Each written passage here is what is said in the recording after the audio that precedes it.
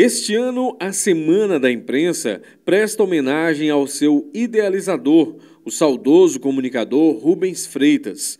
Na tarde desta quarta-feira, diversos comunicadores da TV, rádio, jornais impressos, internet e outros se fizeram presentes na igreja de São Sebastião. Iniciamos ontem com a abertura oficial na TV Delta, na parte da tarde, e agora estamos continuando aqui na Igreja de São Sebastião com a missa gratulatória, onde nós estamos aqui reunidos agradecendo por esse ano de trabalho, agradecendo a Deus por essa maravilha que nós estamos vivos aqui nesse grande momento. E fazendo mais uma vez uma edição da Semana da Imprensa.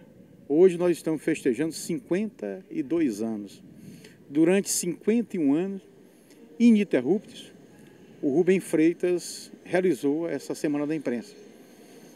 Com o falecimento dele em dezembro do ano passado, nós assumimos esta missão. A missa de ação de graças teve a presença de muitas pessoas e foi celebrada pelo Frei Cícero, que falou sobre a importância da imprensa para a sociedade. Um sentimento de muita alegria, também um sentimento de compromisso, porque é assim como nós, sacerdotes, é, temos a responsabilidade de anunciar as coisas boas que tem na comunidade e de também denunciar também as coisas erradas que tem na, na, na comunidade.